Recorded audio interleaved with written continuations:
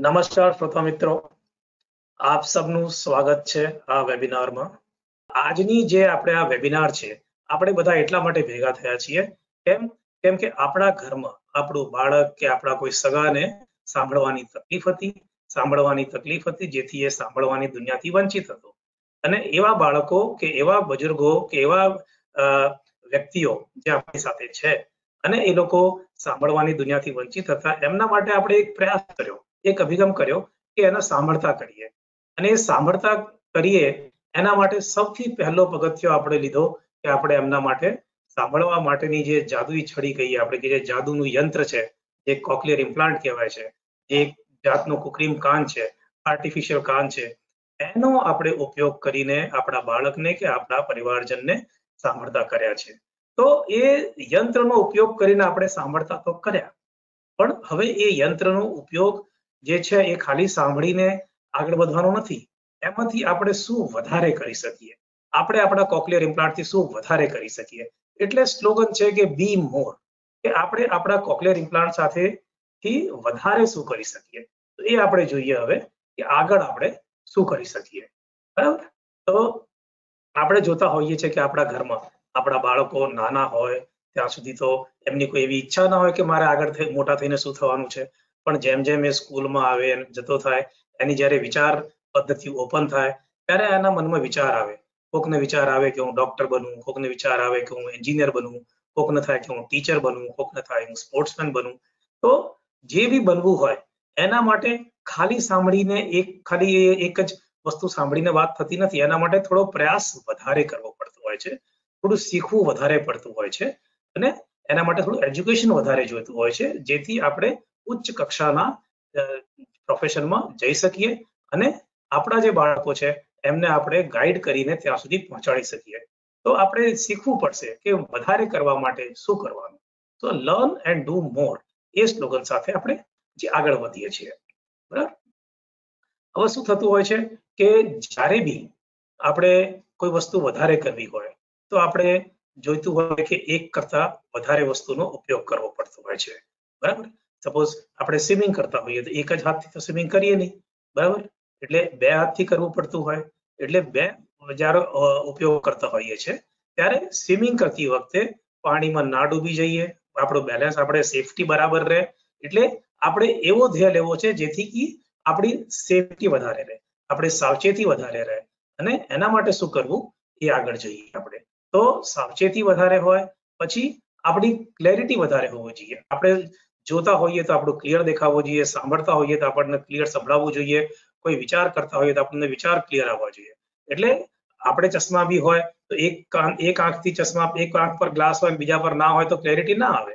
બરાબર? એટલે ક્લેરિટી માટે બી આપણે આગળ જોઈએ તો જ આપણે આપણા ધ્યેય સુધી જઈ શકીએ. બરાબર?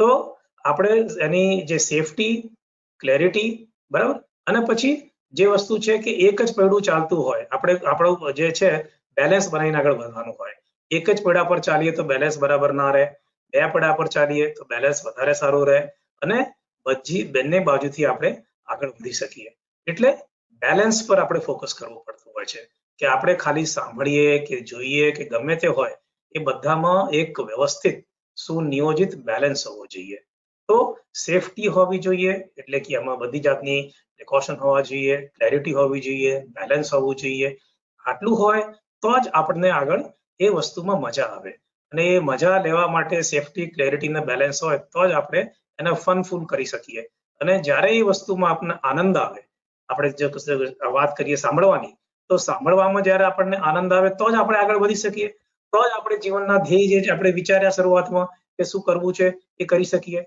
તો સેફટી હોય ક્લેરિટી હોય બેલેન્સ હોય તો જ ફન થઈ શકે અને એ ફન થાય તો જ આપણને આગળ પ્રોગ્રેસ થાય બરાબર એટલે આગળ આની સાથે આપણે બીજી વાત એ કરીએ કે આપણે આપણા મગજની સ્થિતિ સમજીએ આપણું જે બ્રેન છે તો બ્રેન જે છે એનો રાઈટ પાર્ટ હોય અને લેફ્ટ પાર્ટ હોય અને જે રીતની ભગવાનની રચના છે એમાં દરેક ભાગને એક પર્ટિક્યુલર કામ આપેલું છે દરેકના કામ નિર્ધારિત કરેલું છે કે જમણું જમણો જે બ્રેન હોય જમણો ભાગ જે હોય બ્રેનનો એ આપણને એ ઇમોશન્સ છે કે મ્યુઝિક છે કે આપણે કોઈ આર્ટિસ્ટની હોય સ્પિરિચ્યુઆલિટી છે કે ભાઈ બિગ પિક્ચરનો અભાવ આપતો પેલો વિચાર આપતો હોય છે.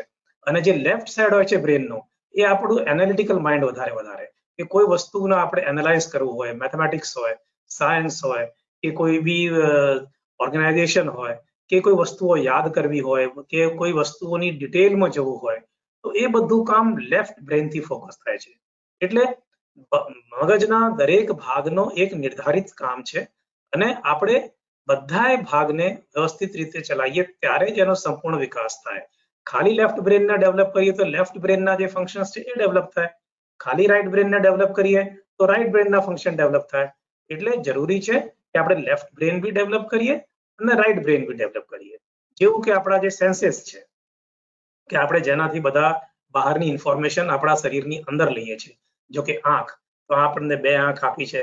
જેથી આપણે બંને બાજુથી આંખોનો ઉપયોગ કરીને અંદર ઇનપુટ લઈએ. રાઈટ લેફ્ટ બંને બાજુ બે કાન છે એટલે બંને બાજુથી ઇનપુટ જાય.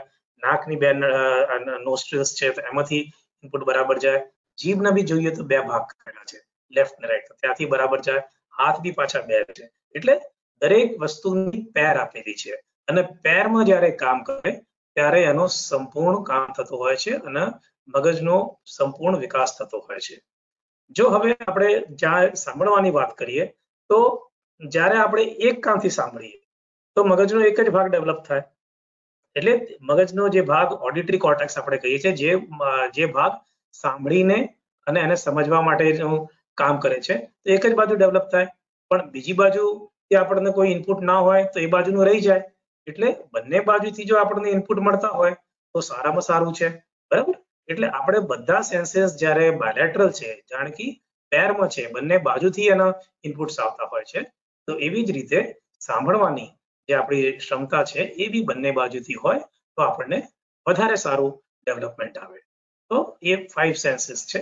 અને એટલા માટે છે કે ભાઈ આ જે બે બાજુથી સાંભળીએ, તો શું થાય? એનો શું ફાયદો થાય? એના વિશે થોડું જાણીશું. એની પહેલા આપણે એ સમજીએ કે જ્યારે બી આપણે આપણે આપણા બાળકોનું કે આપણા પરિવારજનોનું ઇમ્પ્લાન્ટ કરાયું, ત્યારે આપણે કોકે એક કારનું કરાયું, કોકે બે કારનું કરાયું. એના જુદા જુદા કારણો હોય ફાઇનાન્શિયલ રીઝન્સ હોય સિચ્યુએશન એવી હોય કે બંને બાજુ ના કરાઈ શકી હોય. બરાબર? પણ આઈડિયલ કન્ડિશન તો છે કે બંને બાજુ કરવું જોઈએ, જેવું કે આપણે હમણાં પહેલા વાત કરી કે જ્યારે બંને બાજુથી ઇનપુટ્સ મળે, તો મગજનો સર્વાંગ, સર્વાંગી વિકાસ થાય. બાળક હોય, રમતો હોય, આપણે આ પિક્ચરમાં જોઈ શકીએ છીએ એક બાજુથી કોઈનો ભાઈ બોલે છે, એક બાજુથી તેની બેન બોલે છે. બંને એને ઇનપુટ્સ આપે છે અને એને જો બંને બાજુ સાંભળતો તો બંને બાજુથી ઇનપુટ મળે અને મગજનું જે સેન્ટ્રલ પ્રોસેસિંગ યુનિટ છે, એ આખું એને એનાલાઇઝ કરીને બંનેને સાથે જવાબ આપી શકે. એટલે આવી સ્થિતિઓ જ્યાં બંને બાજુથી હોય અને બંને બાજુથી અવાજ સાંભળીને બાળક એનો આનંદ લઈ શકે, એવી સ્થિતિમાં શું થાય છે અને બંને બાજુથી સાંભળવાના શું ફાયદા છે? એ બાયલેટરલ હિયરિંગ કેમ હોવું જોઈએ? કેમ આપણે બંને બાજુથી સાંભળવું જોઈએ? એના વિશે થોડી વાતો આપણે આગળ કરીશું. બરાબર? તો આપણે જોયું હોય કે આપણા બાળક જ્યારે સપોઝ એક વર્ષનું હોય અને એક વર્ષની ઉંમરે આપણું એનું ઇમ્પ્લાન્ટ કર્યું ત્યારે બહુ ખબર ના પડે કેમ કે ત્યારે તો પહેલા સાંભળતો નતો એટલે આપણે સાંભળતો થઈ ગયો એમ જ આપણને આનંદ આવી ગયો બરાબર પણ જેમ જેમ એ મોટો થાય એમ એમ આપણને ખબર પડે અને આપણી પાસે એવી કમ્પ્લેનો આવે કે આ શું તકલીફ છે કે તમારે તમને જ પોતાના અનુભવ હશે તમારા છોકરાઓ જે સ્કૂલમાં જતા હોય કે એક સાથે ચાર પાંચ જણા વાત કરતા હોય કે કોઈ ગ્રુપમાં વાત કરતા હોય કે એને ખબર ના પડે કે અવાજ પાછળથી કોઈ કરે ને અવાજ ક્યાંથી આવ્યો. આવી બધી કમ્પ્લેન્સ બાળકો અને જે બીજા લોકો છે, એ લોકો અવારનવાર કરતા હોય છે. અમને બી કહેતા હોય છે કે સાહેબ, મને ખબર નથી પડતી. કોઈ ગ્રુપમાં બોલ, બે ત્રણ જણા બોલે તો કંઈ ખબર નથી પડતી. કોઈ પાછળથી બોલે તો ખબર નથી પડતી કે અવાજ ક્યાંથી આવ્યો. અને બાળકો એવા હોય છે જે ભણવામાં બહુ જ સારા હોય છે. પણ ક્લાસમાં હોય અને ક્લાસમાં તો કેવું હોય, ઘણીવાર ક્લાસ જે છે એક માર્કેટ જેવું થઈ જાય. ટીચર થોડા આગળ પાછળ થાય એટલે છોકરા એકબીજાથી વાત કરવા લાગે એને કઈ જ ખબર ના પડે. એકદમ એને લાગે કે એ ખોવાઈ ગયો. બરાબર? તો એવું નોઇઝી ક્લાસરૂમ હોય, ત્યાં આગળ બી એને ખબર જ ના પડે કે શું થઈ રહ્યું છે અને કન્ફ્યુઝ થઈ જાય આખો. એટલે મલ્ટિપલ ઇન્સ્ટ્રક્શન્સ જાણે કે એક સાથે ચાર પાંચ જણા બોલતા હોય ગ્રુપમાં વાત કરતા હોય, તો આવી બધી સ્થિતિ જે છે, એ બધાએ અનુભવ કરી હશે. જેમના બી ઘરમાં વ્યક્તિ જે છે, જે કોક્લિયર ઇમ્પ્લાન્ટ વાપરે છે, એમાં બધાએ અનુભવ કર્યો હશે કે આ આવી તકલીફો અવારનવાર થતી હોય છે. તો આવી તકલીફો ના થાય એના માટે શું કરવું આગળ આપણે એના શું બધું એની આપણે વાત કરીએ તો એવું બી અમારી પાસે પેશન્ટો આવતા હોય છે બાળકો આવતા હોય છે એમના વાલીઓ આવતા હોય છે કે બાળક જે છે કે સવારે તો ઇમ્પ્લાન્ટ પહેરે અને બધું મજા કરે સૌથી પહેલા ઉઠીને માંગે કે મને મારો ઇમ્પ્લાન્ટ પહેરાવી દો અને પછી એનું બધું કામ કરે મસ્તી કરતો હોય આખો દિવસ પણ જેમ જેમ સાંજ પડવા લાગે એમ એ થાકી જાય તો એ એનું શરીર થાકતું નથી ખાલી શરીર કરતા એનું સાંભળવાની ક્ષમતા થાકતી જતી હોય છે કેમ કે એક જ કાનથી સાંભળતો હોય છે અને જ્યારે અવાજ થતું હોય કોલાહલ થતું હોય કકડાટ ચાલુ હોય એવામાં એને સાંભળવામાં વધારે એટેન્શન આપવું પડે વધારે ફોર્સ કરવો પડે એટલે શું થાય કે સાંજ પડતા પડતા એ થોડો ફટીક થઈ જાય અને એટલે થાકી જાય એની એની જે શક્તિ કહીએ આપણે એ થોડી ક્ષીણ થઈ જાય એટલે એનર્જી ડ્રેન થઈ જાય તો આવું જ્યારે થવા લાગે તો at the end of the day કે સાંજે આવતા આવતા ઘણી બધી ઇન્ફોર્મેશન એવી હોય જે સાંજે આવતી હોય તો એ મિસ કરે. એ ઇન્ફોર્મેશન લઈ ના શકે કે ચૂક થઈ જાય કે ઘણીવાર એના મન બી ના થતું હોય કે આ લઉં હવે, કે બહુ થઈ ગયું હવે, આજે આખો દાડો બહુ સાંભળ્યું બહુ સાંભળવું નથી. એવું બી થતું હોય છે. ઘણા એવા પેરેન્ટ્સ કહેતા હોય છે, અમને એવા વાલીઓ કહેતા હોય છે કે બાળક આખો દિવસ સ્કૂલમાં રહે, રમે ઘેર આવીને થોડી વાર રહે, પછી થોડી વાર એની મેથે જ ઇમ્પ્લાન્ટ કાઢી મૂકી દે છે કે મારે હવે થોડી સાંજે થાકી ગયો છું. તો આવી સ્થિતિ હોય છે. આવી સ્થિતિ બી આપણને જોવા મળે છે. એટલા માટે આગળ શું કરવું? બરાબર? એટલે આપણે એ એની એનર્જી ડ્રેન ના થાય. એટલા માટે આપણે વાત કરીશું કે કઈ રીતે આના માટે આપણે હેલ્પ કરવી જેનાથી એના ફાયદો થાય. કે આપણે એક કાનથી સાંભળતો હોય, એક વસ્તુ પર, એક પૈડા પર જ્યારે વધારે પ્રેશર પડતો હોય, વધારે આપણે ભાર આપતા હોઈએ, ત્યારે એ થોડો થાકી જાય. પણ જો બે કાનથી સાંભળતા હોય બરાબર? તો બે કાનથી સાંભળતા હોય તો શું થાય? બે કાનથી સાંભળવાના ઘણા બધા ફાયદાઓ છે, ઘણા બધા ઉપયોગો છે, બરાબર? એના વિશે એક એક કરીને આપણે વાત કરીશું, બરાબર? તો હવે કોઈ બી બાળક હોય કે વયયુક્ત વ્યક્તિ હોય, તો હવે આપણે તો શું છે કે ઘણા વખતથી આપણા ત્યાં ઇમ્પ્લાન્ટ થાય છે, એટલે છોકરાઓ મોટા થાય. હવે એમને પહેલા શરૂઆતમાં તો ડ્રાઇવિંગ લાયસન્સ બી નતા મળતા, હવે તો એમને ડ્રાઇવિંગ લાયસન્સ મળે છે. કેમ કે ગવર્મેન્ટનો એવો નિયમ આવી ગયો છે કે ઇમ્પ્લાન્ટ અથવા કોઈ બી હિયરિંગ એડથી વ્યક્તિ જો સાંભળી શકતો હોય, તો એને લાયસન્સ આપી શકાય. તો આવું બાળક હોય કે કોઈ એમને બી વ્યક્તિ એક આગળ રોડ પર જતું હોય પાછળથી કોઈ ગાડી આવે તો એને ખબર પડવી જોઈએ કે અવાજ ક્યાંથી આવ્યો, કે ગાડી ક્યાંથી આવી? એટલે સેફટી સૌથી પહેલો વસ્તુ છે કે પહેલો ધ્યેય છે જેને આપણે ધ્યાનમાં રાખીને આગળ વધીએ અને એના માટે આપણે વાત કરીએ. બાળકો કે મોટા થાય અને ગાડી ચલાવતા હોય, તો એને બી ખબર પડવી જોઈએ કે અવાજ પાછળથી કોઈ હોર્ન મારે તો ખબર પડવી જોઈએ કે અવાજ ક્યાંથી ઘરમાં જ હોય અને ઘરમાં આજકાલ જે છે જ્યાં આગળ બધે એસી હોય ને ફાયર અલાર્મ લાગેલો હોય કે એવું હોય મલ્ટી સ્ટોરી બિલ્ડિંગ્સ હોય મોટા મોટા બિલ્ડિંગોમાં ફાયર અલાર્મ કમ્પલસરી છે તો આવી સ્થિતિમાં કદાચ અલાર્મ વાગે તને ખબર પડવી જોઈએ કે અલાર્મ ક્યાંથી વાગ્યો શું થયું શું કરવાનું આ અલાર્મ હતો કે ઘરનો ઘરનો ડોરબેલ હતો એ બધી ખબર પડવી જોઈએ એટલે સેફટી બહુ અગત્યની વસ્તુ છે એટલે સેફટી માટે બી બહુ જરૂરી છે કે માણસ બંને બાજુથી સાંભળી શકે બીજી વસ્તુ જે આપણે વાત કરી કે પાછળથી અવાજ આવે છે કે ક્યાંથી આવે છે, તો અવાજનો ઉદ્ગમ સ્ત્રોત ક્યાં છે? અવાજ ક્યાંથી આવે છે? એનું જે સેન્સ ઓફ ડાયરેક્શન કહીએ કે અવાજ કઈ બાજુથી આવ્યો? દિશા નિર્ધારિત કરવા માટે બી બહુ જરૂરી હોય છે કે બે કાનથી સાંભળે. એક કાનથી સાંભળતો હોય, ધારો કે લેફ્ટ ઇયરમાં ઓપરેટ કરવું હોય, ડાબા કાનમાં ઓપરેશન કરેલું હોય, તો ડાબા કાનમાં ડાબી બાજુનો જેટલો અવાજ છે એ બરાબર સાંભળી શકશે.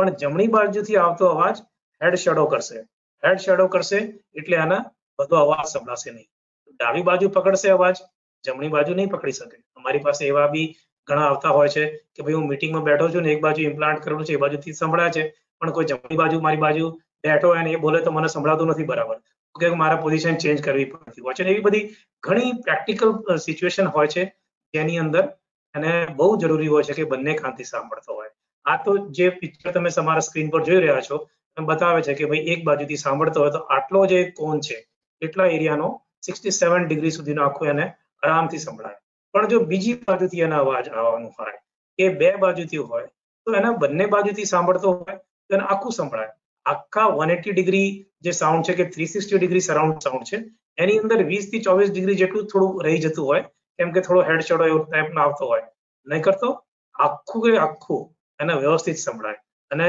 સેન્સ ઓફ ડાયરેક્શન છે કે અવાજ ક્યાંથી ઉદ્ગમ થયો એ એને ખબર પડી શકે. તો બે કાનનું શું છે કે અવાજનો ઉદ્ગમ સ્ત્રોત જાણવા માટે બે કાનથી સાંભળવું બહુ જરૂરી છે.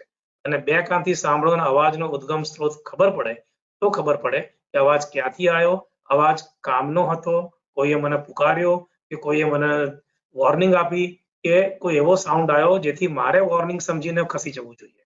તો એ બધું જાણવા માટે બી બહુ જરૂરી છે કે આપણે બંને કાનથી સાંભળીએ, જેથી આપણો સેન્સ ઓફ ડાયરેક્શન વ્યવસ્થિત રહે. આવી ઘણી બધી સ્થિતિ હોય છે જેની અંદર આની બહુ જરૂર હોય છે. તો નેક્સ્ટમાં આપણે જોઈશું કે આ ટાઈપનો જે છે એ અવાજ એક જ કાનથી આવે. તો એના શું છે કે અવાજનો આનંદ તો એક જ કાનથી લે છે, પણ બે કાનથી જો અવાજનો આનંદ લે, તો એને વધારે મજા આવે. આપણે કહીએ ને કે થ્રીડી સાઉન્ડ આવે અને સરાઉન્ડ સાઉન્ડ આવે.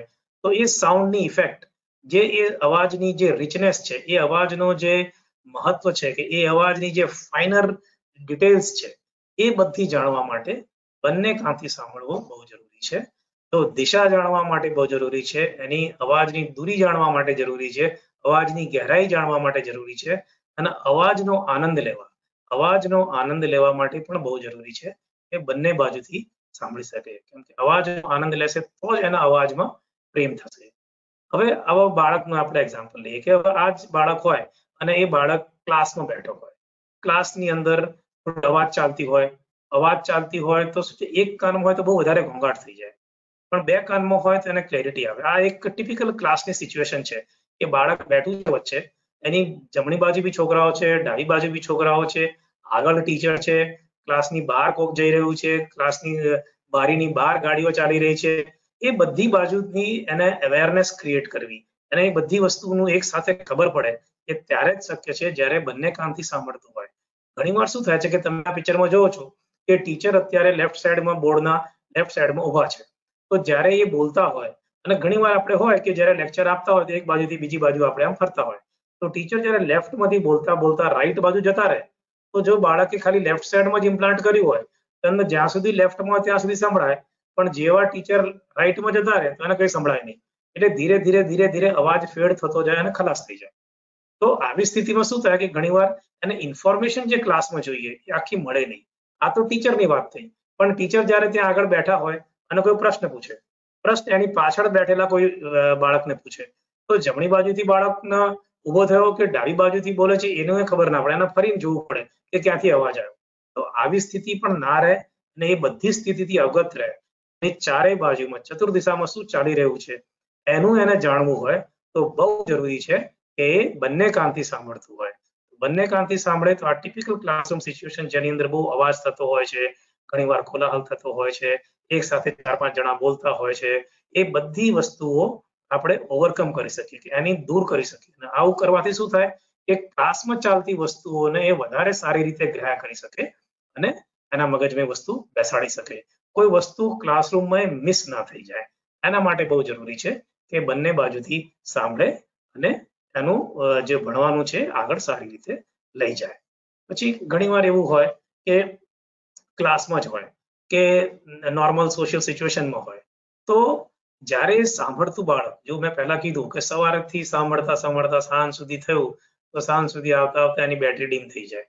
થાકી જાય ખાલી મગજ નહીં ખાલી ઇમ્પ્લાન્ટ નહીં, ખાલી બેટરી નહીં, એનું આખું વ્યક્તિત્વ એવું થઈ જાય કે એને લાગે કે હવે થાક્યો. કેમ કે આપણે કોઈ બી વસ્તુને આપણે વધારે કામ કરાવડાવીએ તો એ થાકી જાય પછી છેલ્લે છેલ્લે એનું પરફોર્મન્સ ઓછું થઈ જાય. બરાબર? એટલે એના સાંભળવાની કમ્ફર્ટ માટે, એનો ઇઝ ઓફ લિસનિંગ જે કહીએ આપણે, એ સાંભળી શકે આરામથી. બરાબર?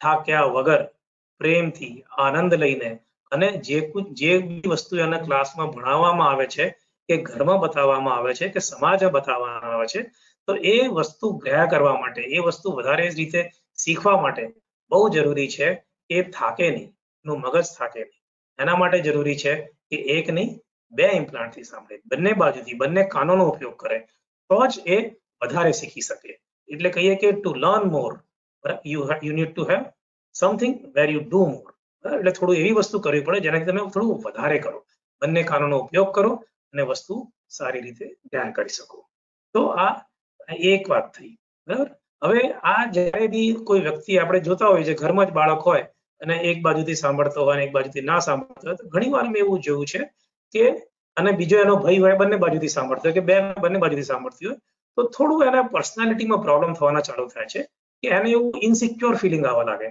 તો એ પર્સનાલિટી બી જો છે ને બંને બાજુથી સાંભળતો તો કોન્ફિડન્સ એકદમ સબર થઈ જાય એમાં એટલું કોન્ફિડન્સ આવી જાય કે એને લાગે કે હા, હું બરાબર છું હું એના કરતા વધારે છું બરાબર એટલે કોઈ બી બાળકનું કે કોઈ બી વ્યક્તિનું ઓવરઓલ ડેવલપમેન્ટ કરવા માટે ટોટલ ડેવલપમેન્ટ કરવા માટે આપણે એનામાં વધારે કોન્ફિડન્સ જોઈએ એની પર્સનાલિટી સારી રીતે ડેવલપ કરવા માટે બી બંને બાજુથી સાંભળવું જરૂરી છે સમાજમાં લોકો જોડે સારી રીતે ઇન્ટરેક્ટ કરી શકે ભાઈ જોડે વાત કરતો હોય બેન જોડે કરતો હોય પપ્પા જોડે હોય દાદા હોય દાદી હોય નાના નાની, ગમે તેની જોડે સમાજમાં કે પાડોશી હોય કે સોસાયટીના દોસ્ત દોસ્તો, મિત્રો હોય, સ્કૂલના મિત્રો હોય, એ બધાની જોડે કોન્ફિડન્સથી પૂરા અને સારી રીતે એક, એ વન ટુ વન લેવલ પર એને ઇન્ટરેક્ટ કરવા માટે પણ બહુ જરૂરી છે કે બંને બાજુથી સાંભળે.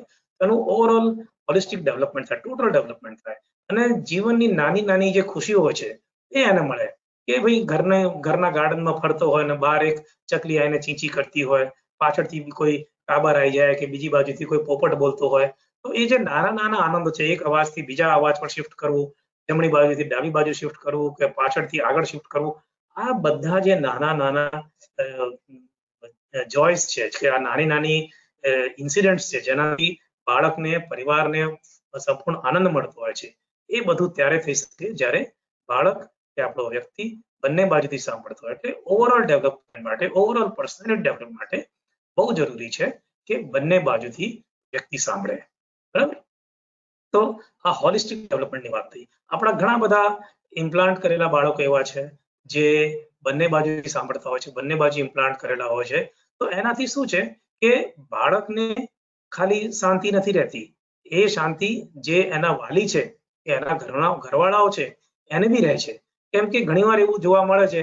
કે એક ઇમ્પ્લાન્ટ હોય અને એની બેટરી ડાઉન થઈ ગઈ કે કંઈ પ્રોસેસરનો કંઈ ઇસ્યુ આવી ગયો અને ફેલ થઈ ગયો કે કંઈક ને કંઈક સોફ્ટવેરમાં ઇસ્યુ આવ્યો કે કોઈ કારણસર જે ટેમ્પરરી હોય તેને કરેક્શન કરવામાં બાર થી ચોવીસ કલાક લાગી શકે છે ઘણીવાર એવું હોય કે તમે સિટીમાં હો ને ત્યાં જ ક્લિનિક હોય તમારું સપોર્ટ કરવા માટે તો તમે કલાકમાં જઈને કરાઈને આવી જાઓ પણ માણસ ગામડામાં રહેતું હોય ક્યાંક દૂરથી આવતું હોય તેને કોન્ટેક્ટ કરવું પહોંચતા સમય લાગતો હોય છે કેમ કે આપણા ત્યાં જે આપણા દેશમાં જે લોકોની દૂરીઓ છે ગામડેથી કે બધી જગ્યાએથી બધી જગ્યાએ બધી ફેસિલિટી હોતી નથી એટલે જે સેન્ટર સુધી પહોંચતા એને ટાઈમ લાગતો હોય તો એવી સ્થિતિમાં પણ શું છે કે બે કરાયા હોય તો એક સાથે બંને તો બંધ કરવાનું બંને થવાના નથી એક ગાડીનું એક પૈડું પંચર થાય બંને તો પંચર થાય નહીં એક સાથે એવી સ્થિતિઓ બહુ ઓછી હોય એટલે આપણને બી શાંતિ હોય બાળકને બી શાંતિ હોય પરિવારને બી શાંતિ હોય કે આવું છે તો ચલો ટેમ્પરરી એક પછી ચાલશે અને પછી ત્યાં સુધી બીજું થઈ જશે એટલે પીસ ઓફ માઇન્ડ માટે મગજની શાંતિ માટે બી બહુ જરૂરી છે કે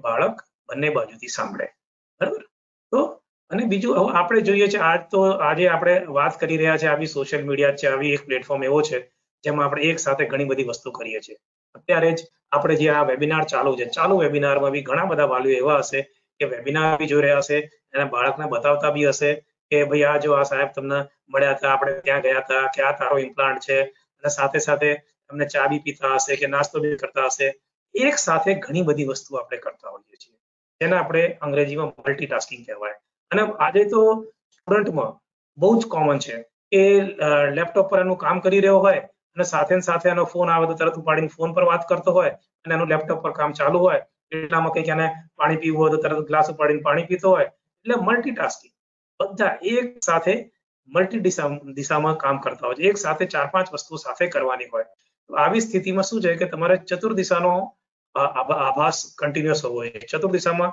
તમારું કનેક્શન જોઈએ અને કનેક્શન જે છે આપણું આપણું કનેક્શન છે એ અવાજથી જ થાય છે. સાઉન્ડથી જ આપણું કનેક્શન આપણા ઇનર એન્વાયરમેન્ટનું આઉટર એન્વાયરમેન્ટ જોડે થાય છે.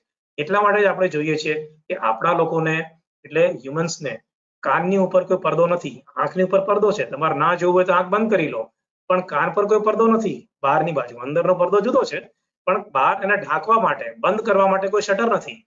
એટલે ચોવીસ કલાક સતત આપણે સાંભળતા હોઈએ છીએ અને ચોવીસ કલાક જે આ સતત સાંભળતા હોઈએ છીએ એની અંદર આપણે ઘણા બધા ઇન્ફોર્મેશન લઈએ છીએ પ્રોસેસ કરીએ છીએ અને એ પ્રમાણે આપણે આપણી વસ્તુઓને કાર્યાન્વિત કરતા હોઈએ છીએ એટલે બહુ જરૂરી છે કે મલ્ટીટાસ્કિંગ કરવું હોય કે બીજું બધું કરવું હોય તેના માટે આપણે બંને કાનથી સાંભળીએ અને આપણે આપણા અંદરના જે બી વિચારો છે વ્યક્ત કરવા માટે કે બીજાના વિચારો લેવા માટે આપણે બંને બાજુથી સાંભળીએ એટલે કહેવાનો અર્થ એ છે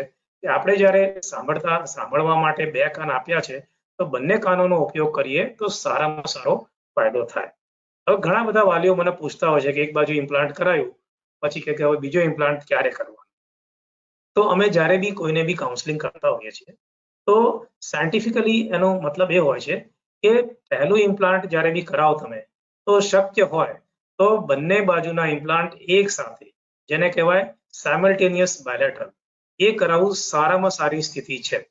પણ એવી વસ્તુઓ દર વખતે પોસિબલ નથી હોતી. કેમ?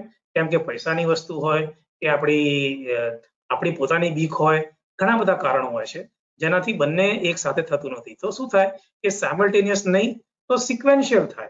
એક કરાયા પછી બીજું કરાવીએ બરાબર? આપણે એક કરાયું એટલે એક બાજુ તો ગેપ રહી ગયો. પણ એ જમણી બાજુ કરાયું તો ડાબી બાજુનો ગેપ રહી ગયો સાંભળવાનો. તો એ ગેપને પૂરવા માટે, એ ગેપને બ્રિજ કરવા માટે આપણે જેટલો ઓછામાં ઓછો સમય લઈએ, એટલું સારામાં સારું.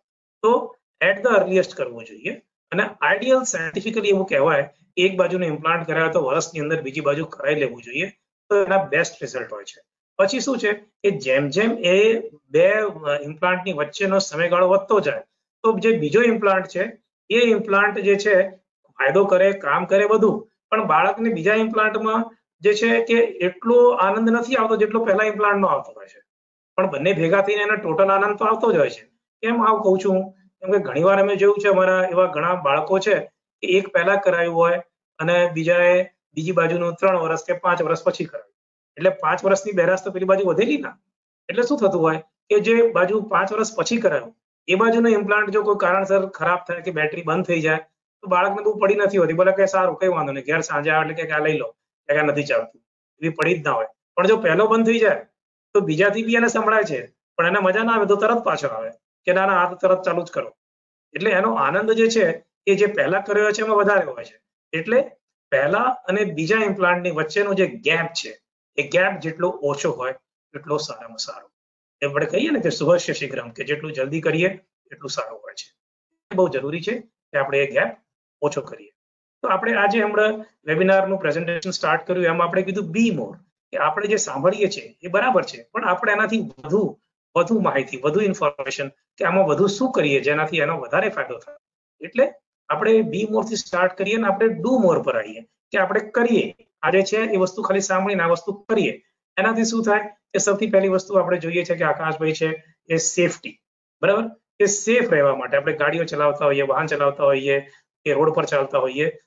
તો સેફટી માટે બહુ જરૂરી છે કે બંને કાંથી સાંભળીએ પછી બાળકો જ્યારે રમતા હોય એમના ગ્રુપમાં હોય એમના સમાજમાં હોય પરિવારમાં હોય તો સોશિયલ ઇન્ટિગ્રેશન એના માટે બી બહુ જરૂરી છે એ બંને બાજુથી સાંભળે પછી કન્ટિન્યુઅસ હિયરિંગ આપણું સાંભળવાનું એક મિનિટ બી ક્યારેય બંધ ના થાય કેમ કે ભગવાને જે રીતે આપેલું છે કે ચોવીસ કલાક સતત સાતો દિવસ ચાલુ રહે છે આ કોઈ શટર નથી તો અનઇન્ટરપ્ટેડ હિયરિંગ કન્ટિન્યુઅસ સાંભળવા માટે બી બહુ જરૂરી છે કે આપણે બંને કાનમાંથી સાંભળીએ અને બાળકો આપણા હવે જેમ જેમ મોટા થાય છે તો એમની પોતાની ઇન્ટરેસ્ટ હોય એમની હોબી હોય એમને કોઈ ગેમ ગમતી હોય તો એમનું જે પેશન હોય એ પેશનને બી પરસ્યુ કરવા માટે બહુ જરૂરી છે કે બંને બાજુથી આપણે સાંભળીએ તો આ રીતે આપણે આ બંને બાજુથી સાંભળવાનો જે પ્રયાસ કરીએ એ બંને બાજુથી સાંભળવા માટે આપણે પગલા આગળ વધીએ આગળ લઈએ તો સારામાં સારું અને સર્વાંગી વિકાસ આપણા બાળકનું કે આપણા પરિવારજનોનું થઈ શકે છે બરાબર તો એ બી મોર થી do more for it right Our.